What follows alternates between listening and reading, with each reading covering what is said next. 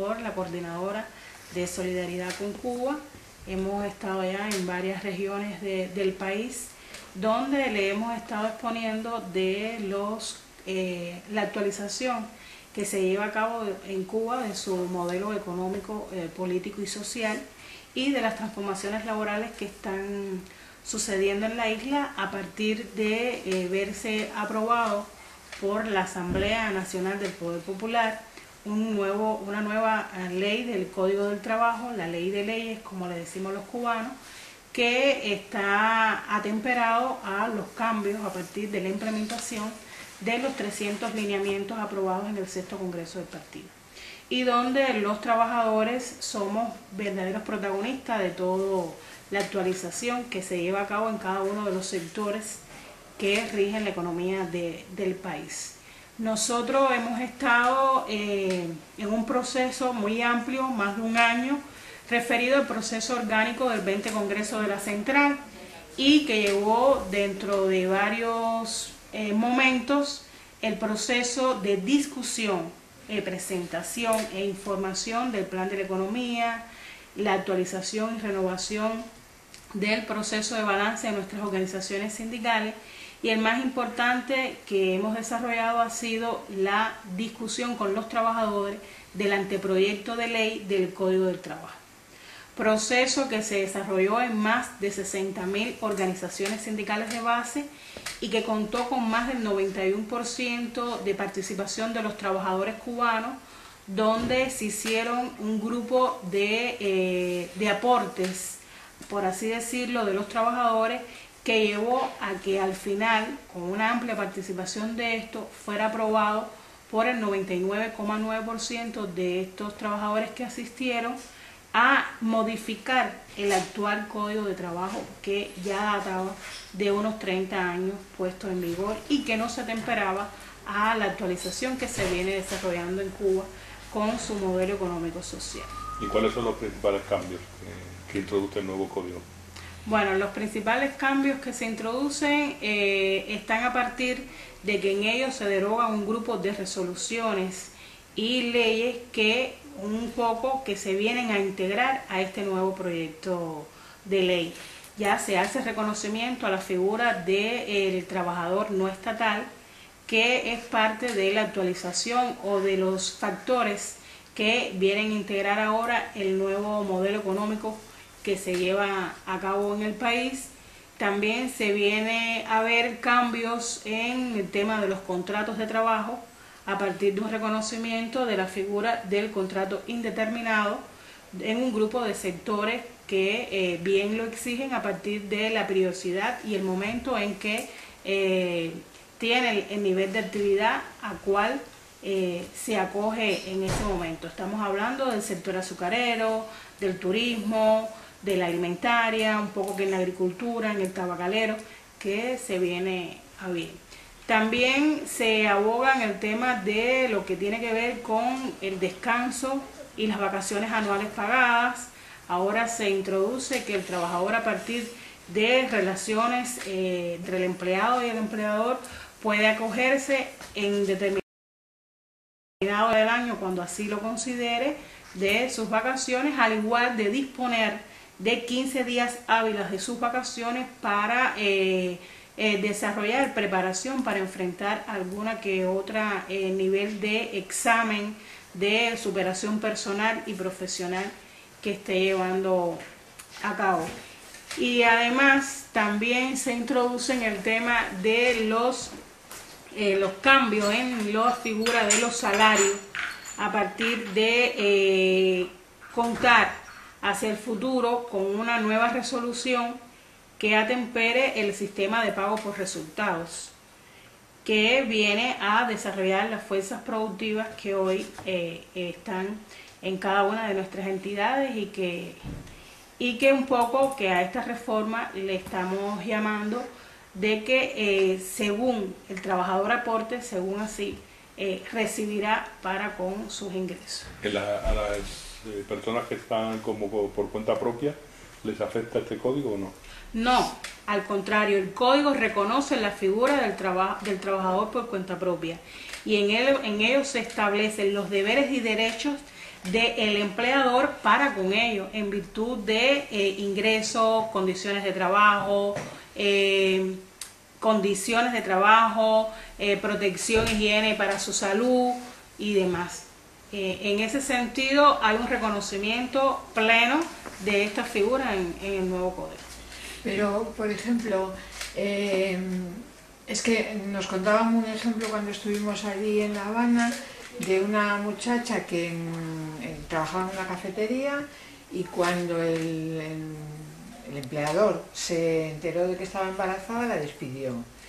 Entonces, ¿qué defensa tendría un trabajador o bien por cuenta propia o con un empleador no estatal de estas pequeñas, de esos que tienen cinco trabajadores o una cosa así, ¿a quién recurriría? ¿A la CTC? ¿Hay algún tipo de organización de estos trabajadores?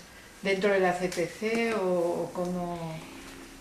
En la actualización del modelo económico aparecen ahora eh, el reconocimiento a otros factores que integran eh, el modelo económico nuestro y establece el reconocimiento de la figura del el trabajo no estatal, de la inversión extranjera en la cooperativa y el tema de la empresa estatal socialista como la actividad o el ente que más va a, predominar en las relaciones eh, laborales en Cuba. La Central de Trabajadores de Cuba y sus sindicatos es la organización que está mandatada a la atención a estos trabajadores. Ya más de los 400.000 que existen en el país se han estado afiliando a los 17 sindicatos que hoy existen a partir de la actividad que desarrollan. Por tanto, el papel eh, que juegan hoy los sindicatos en el socialismo en Cuba, que está en primer momento en organizarlo, eh, educarlo, eh, formarlos, pero también está en un segundo momento en la defensa y la representación. Por tanto, es responsabilidad de los sindicatos ante cualquier situación que presente algunos de estos trabajadores de eh, estar ante su defensa en cuestión al organismo que tenga que ver con la relación, llámese el Ministerio de Trabajo, el Ministerio de Transporte o la propia Oficina Nacional de Atención a los Contribuyentes. O sea, que el trabajador no estatal hoy pertenece a nuestra organización a partir de todas estas transformaciones, la fuente de afiliación que hoy tiene la Central de Trabajadores de Cuba y sus sindicatos se amplía con una nueva categoría. Hoy aparecen los trabajadores estatales, los jubilados y pensionados y los trabajadores no estatales, que se lleva a partir de un trabajo persona a persona por cada uno de los dirigentes sindicales para que estos formen eh, parte de la organización y se organicen a través de nuestras sesiones sindicales y comités sindicales. ¿Qué mejoras hay así en general con respecto al, antiguo código? Así cosas más concretas que yo pueda entender. O la gente que no sabe cuál era el código, cuál es la... Ten en cuenta que la mayor parte de la gente aquí no sabe cuáles son las relaciones laborales en Cuba. No, no sé qué es lo que te estarán preguntando en las actividades que tienes ahí, ¿no?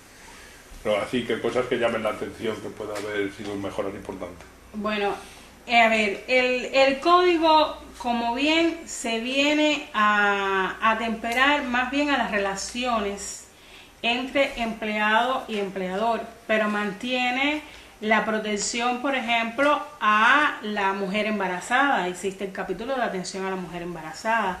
Esta es una ley que protege de una manera especial aquella mujer que eh, esté embarazada y se le permite a las 32 semanas o 34 de ser un embarazo múltiple eh, acceder a una licencia pre y postnatal que le permita eh, cuidar de su estado de salud durante ese periodo, pero además le favorece con un año más para la atención al recién nacido, que, que esté más cerca de la afiliación materna. Estas son de las cuestiones que en el código eh, actual se mantiene y se le da, eh, por ejemplo, un cambio sustancial a que en un momento determinado eh, cualquiera persona, trabajador o trabajadora, en este caso empleado, pueda acceder también a una licencia sin sueldo por X periodo a partir de una negociación con el empleador, llámese para cuidar a un familiar o a alguna otra persona llegada que esté bajo su custodia y pueda atender en, en ese En momento. el tema salarial, por ejemplo, el- el- En- ¿hay alguna modificación o se incluye algo en el código? En el tema fuera? del salario, lo que se acoge es a partir de una de un cambio en la, o sea, una actualización de la resolución vigente actual. O sea, se modifica la resolución 9 del Ministerio de Trabajo y Seguridad Social por una que recién se ha puesto eh, en la Gaceta Oficial, que es la resolución 17 del 2014 del Ministerio de Trabajo y Seguridad Social, que establece las nuevas relaciones de la política del salario y los sistemas de pago por resultado. En ello se trabaja en este minuto por parte del Ministerio y por parte también de nos- nosotros los dirigentes sindicales en la implementación y puesta en marcha de, de, de este, de, esta nuevo, de esta nueva resolución a partir de eh, ofrecer cambios en, en el tema de las relaciones o de las gestiones administrativas y que hay una flexibilidad, flexibilización a partir de las directivas aprobadas en el plan del 2014 que nos permite entonces establecer mejores, eh, mejoras en los ingresos salariales en cuanto a la utilización de eh, distribuir las utilidades que alcancen las empresas por una mayor eficiencia.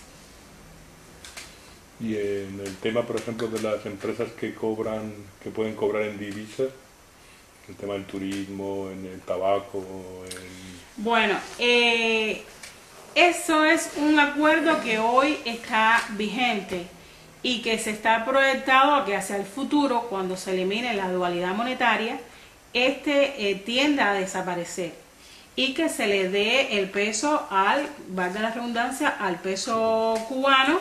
Y por tanto hoy los sectores y aquellas entidades que tienen este reconocimiento, por así decirle, de pago de estimulación en CUC, lo mantendrán hasta tanto esté vigente. No obstante, los cambios que puedan of- ofrecerse a partir de cambios estructurales, fusiones, extinciones que puedan ocurrir en algunas entidades, cuando se reinicie la nueva presentación de la entidad, desaparece el estímulo y el estímulo a recibir siempre será con la moneda nacional, que es la que debemos de fortalecer. ¿Y cuándo va a ser el cambio?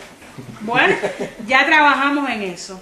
Ya se ha anunciado por nuestro presidente de que cuadros, dirigentes administrativos y demás estamos en la preparación de cómo proceder en, en el país al cambio de, de- de moneda, o sea, a la, unidad, a la unidad monetaria. Se trabaja en ese proyecto, ya se han estado dando un grupo de seminarios a nivel de la nación, a nivel territorial, y bueno, pronto podría aparecer el día cero, como le hemos llamado. Ajá.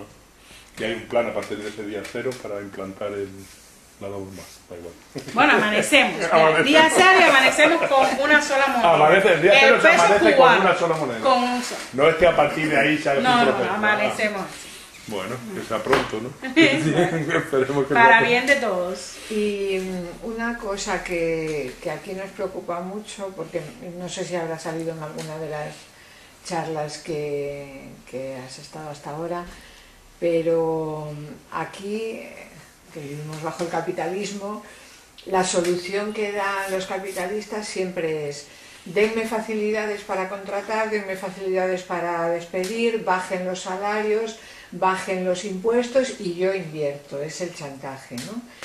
Entonces, el tema de Mariel. Yo eh, tengo oído que a las empresas que se implanten en el, en el territorio este especial Sí, Zona especial de desarrollo, zona especial de Mariel, desarrollo se Mariel. le van a dar facilidades. ¿Qué tipo de facilidades? Porque a nosotros desde aquí eso de facilidades a las empresas se nos ponen los pelos como escarpias. No, o sea, eh, si eh. esto va a ir en detrimento de los derechos laborales, si va a pagar menos impuestos, ¿cómo va a ser? eh, No, las a- inversiones? al, al contrario, la zona especial de desarrollo Mariel lo que ha venido a beneficiar la zona desde el punto de vista de la creación de mayores empleos eh, a los pobladores que, que ahí están alrededor. Y esos trabajadores eh, tienen un reconocimiento desde el punto de vista del lugar donde laboran, siempre de, de lo que hoy está amparado en nuestras legislaciones laborales tienen condiciones de trabajo, condiciones de trabajo, tienen protección e higiene para la salud, tienen nivel de preparación y capacitación, tienen estímulos, o sea, reconocimiento a partir de la propia actividad que realizan, tienen su reconocimiento eh, salarial en cuanto a su aporte y tienen eh, el reconocimiento eh, representación, defensa y están organizados en cada en a los sindicatos nuestros. En este caso están afiliados al Sindicato Nacional de Trabajadores de la Construcción. Claro, porque ahora ah, momento solo se está haciendo lo que es los edificios. O sea, que no están las fábricas funcionando allí todavía. Sí, sí, ahí hay de todo. A ver, ahí pueden intervenir a partir de las actividades que puedan estarse desarrollando en cada una de las áreas que componen la zona eh, pueden converger eh, un número importante de trabajadores que estarán afiliados a los distintos sindicatos afín a la actividad. Pero, hoy el fundamental, el que mayor afiliados tiene es el sindicato de la construcción a partir de las obras que se están ejecutando ahí, de las brigadas y demás. y, tu experiencia de los días estos que has estado en Galicia o en Asturias, o en, los, en las charlas que has dado? ¿Qué es lo que más te pregunta la gente o qué es lo que más le preocupa? Bien, bien, eh, me ha ido bien. Eh, existe eh, preocupación, evidentemente, por saber hasta dónde el trabajador cubano se siente protegido, desde la seguridad al empleo que tiene el trabajador, desde la seguridad que tiene en cuanto al salario, cómo se estudia o se proyecta el tema del incremento salarial en Cuba cuáles son las acciones que se están eh, llevando a cabo y un poco que, les resulta ¿no? Eh, impresionante la protección que tienen con este código y cómo ha sido eh, la proyección de esta nueva ley, la participación tan democrática y que los trabajadores hayan podido opinar en cuanto a lo que se le está pidiendo ¿no? o lo que se va a legislar. Hay que decir que esta ley ya fue aprobada por la Asamblea Nacional, pero aún no está puesto en vigor. No está puesto en vigor porque en este minuto se trabaja en el proyecto de reglamento donde un grupo de entidades y organizaciones, incluyendo la Central de Trabajadores de Cuba y sus sindicatos, estamos elaborando los reglamentos de cómo hacer llevar a cabo cada una de las políticas que fueron aprobadas en los capítulos que componen el, el proyecto de, o sea, la ley como tal en ese sentido. Y bueno, aquí resulta un poco interesante cuando se le explica de que bueno, el trabajador tiene la garantía a la seguridad social, tiene la garantía a su empleo a partir de un contrato indeterminado, a partir de un contrato determinado, que la mujer trabajadora consta de un capítulo en la protección a cuanto a su nivel de, de desarrollo e independencia alcanzado le, les hace bien el tema oír cómo tiene también el código una protección a los jóvenes trabajadores a partir de la, de la seguridad después de haber alcanzado la universidad y estar graduado en una actividad, tiene la seguridad al empleo a partir de, ya sabes que aquí hay un 50% de desempleo. De estudio, allá nosotros hoy Cuba tiene una tasa de desocupación por debajo de un 5%, y entonces un poco que eso les llama la atención, ¿no? Y de ver también que dentro del Código de Trabajo existe un capítulo para la organización sindical. Existe un capítulo donde tiene la protección los dirigentes sindicales de tener las facilidades por el empleador de condiciones para las reuniones, condiciones para poder desarrollar las actividades desde el punto de vista sindicales que nosotros desarrollamos en cada uno de los centros de trabajo. Existe un reconocimiento a la organización y por tanto y demás el derecho a la afiliación de estos trabajadores de una manera consciente y voluntaria. ¿Qué destacaría? Nos quedan cinco minutos. Podemos grabar más, ¿eh? pero digo, por no se puede tener una entrevista de media hora, ni sin menos. Entonces, tenemos cinco minutos, que es lo que va a durar la batería. ¿Qué destaca aquí Stuart? Bueno, importante? destacar que la actualización que se lleva a cabo eh, del modelo económico cubano, eh, que muchos piensan que es un cambio de propiedad que se está llevando en Cuba de una propiedad estatal a una propiedad eh, privada, para nada. En Cuba lo que estamos haciendo es una actualización, sí, sobre todo de nuestra economía, pero una economía que lo que busca es una modernización en su gestión y es una economía donde va a prevalecer siempre la propiedad eh, social sobre los medios de producción, que es donde vamos a tenerle y darle una mayor facultad a nuestras administraciones para una mejor gestión y que la gestión sea para más eficiencia en nuestra economía y a partir de ahí el beneficio que van a recibir todos los que integramos la sociedad cubana cuando se ha dicho que en Cuba eh, la actualización del modelo económico, ¿cuál es su concepto? Bueno, su concepto eh, no es más que más socialismo y hemos dicho que es un socialismo próspero y sostenible. Socialismo porque van a seguir primando eh, todas las conquistas que hoy tenemos, la salud pública gratuita, la educación gratuita, la asistencia social, la seguridad social, la seguridad ciudadana que tienen hoy todos los cubanos y próspero porque es una economía que vamos a desarrollarlo a partir de una modernización de la gestión buscando una mayor eficiencia y sostenible porque a medida que nuestra sociedad acoja eh, suya esos cambios, esas transformaciones, pues entonces la hará más duradera, más duradera y será entonces más viable el desarrollo tanto del trabajador y de su familia. Por tanto, los cambios del modelo, o sea, las transformaciones de la actualización del modelo cubano es para más socialismo en Cuba, que no le quepa la duda a nadie y que ningún trabajador en Cuba quedará desamparado, como siempre se ha afirmado por varios.